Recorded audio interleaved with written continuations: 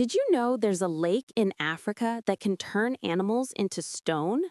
It's called Lake Natron, and it sits in northern Tanzania.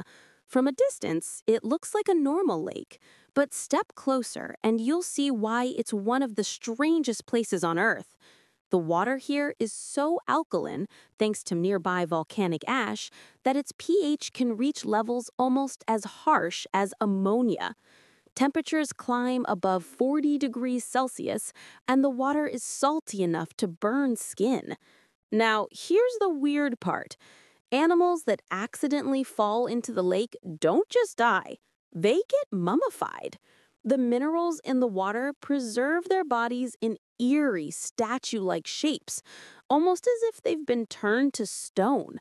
Photographers have found calcified birds, bats, even small animals perfectly frozen in time on the shores of the lake. Creepy, right? But here's the twist. While most animals can't survive here, flamingos actually love it. The lake is home to millions of them, feeding on the algae that thrives in the salty water. So while the lake turns some creatures into stone, it's also a safe haven for others. It's like nature's way of saying, wrong species, wrong place, buddy. Follow MindSnack for more interesting facts.